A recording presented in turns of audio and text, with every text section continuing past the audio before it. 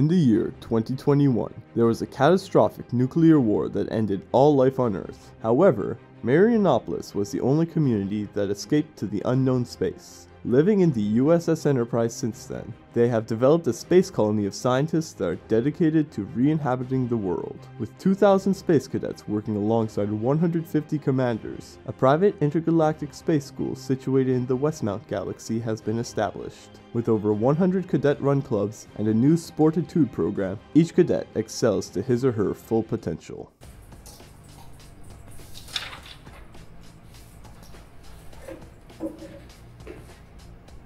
Mother of pearl. You need to go.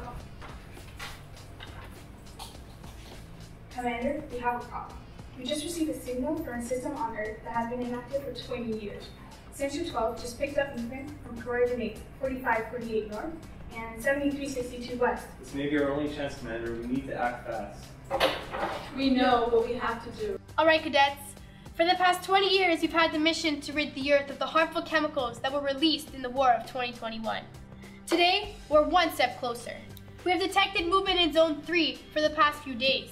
Now we need to go down and explore to find out what we're up against. We need volunteers. Ooh, ooh, ooh, pick me, pick me, pick me. I can do this. I volunteer as tribute. Pick me, pick me, pick I me. guess I'll do it.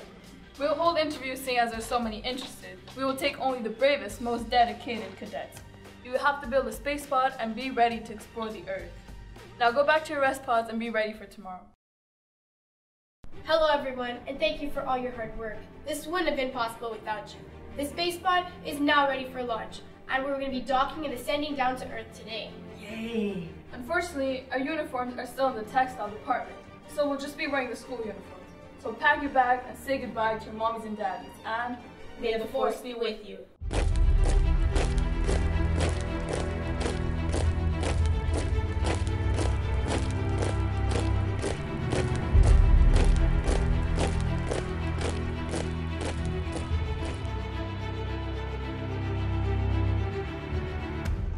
We are four light years away from Earth. Our voyage is soon coming to an end, but our journey has just begun. Dr. Nefario is here to explain what's going on on Earth right now. Hello, cadets.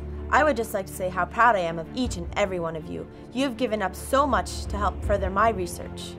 Maybe even your lives.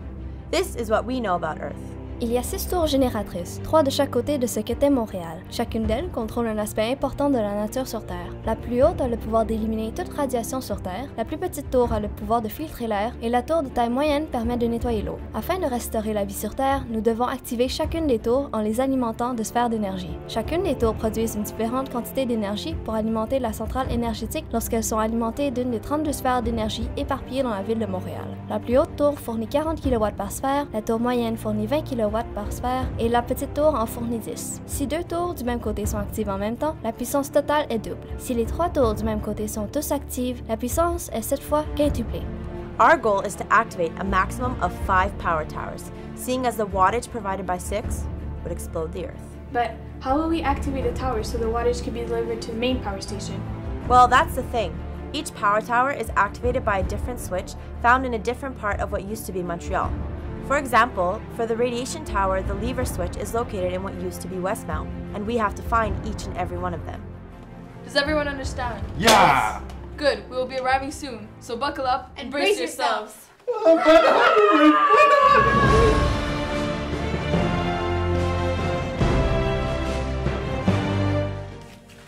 But first, let me take a selfie. Whoa, it's so cold.